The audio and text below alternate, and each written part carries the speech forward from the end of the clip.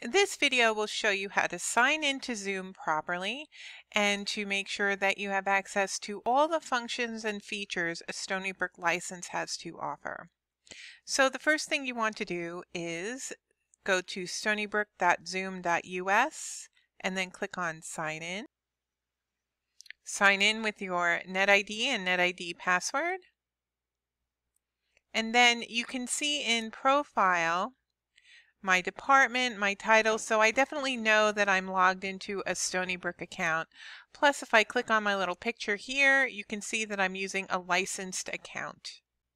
Next, go to settings and scroll all the way down to about the middle of the page under screen sharing right here. So by default, the option that's selected is only the host can share. This is great for instructors who are working with students and teaching students, but for colleagues and when you're collaborating with other people, you'll want to select all participants can share. So that way, when you're in a meeting with somebody, you don't have to allow them to be co-hosts so they can share their screen. They'll be able to share their screen right away.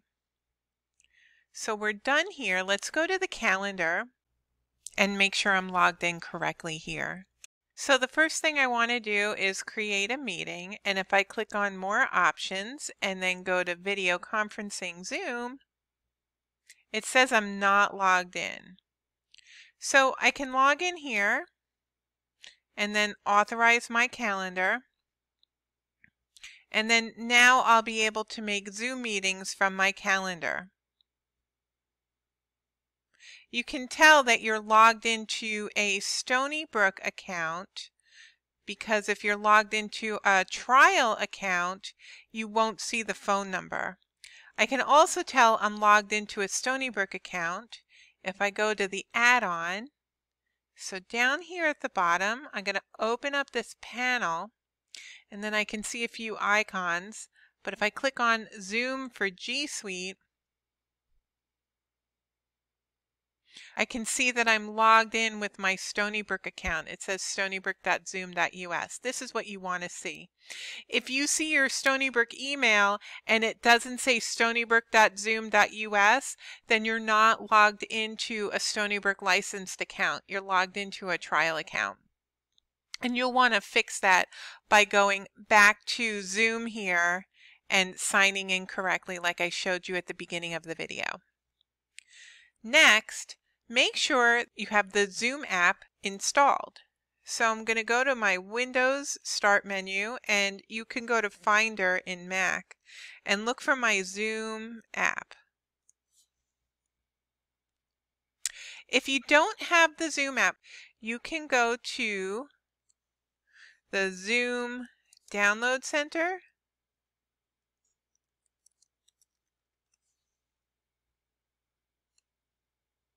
and download the client for meetings yourself if you have admin rights to your computer. Otherwise, contact support so they can do that for you. So let me go back to that Zoom app and I'll show you how to log into that. So click on sign in. Don't enter your email address and don't sign in with Google. You want to sign in with SSO because that will prompt you to log in with your NetID and NetID password. The company domain is Stonybrook one word. Just like before when we went to the web settings, we went to stonybrook.zoom.us. So click on continue. And then if it prompts you to log in with your NetID, do so and then now you're in the client. It's important to have the client running in the background on your computer because it adds an extra level of security and certain features will only work if you are signed into the client. Here in the client, I can start a new meeting right away. Um, I can schedule a meeting and have it go on my Google Calendar. I could also chat with other people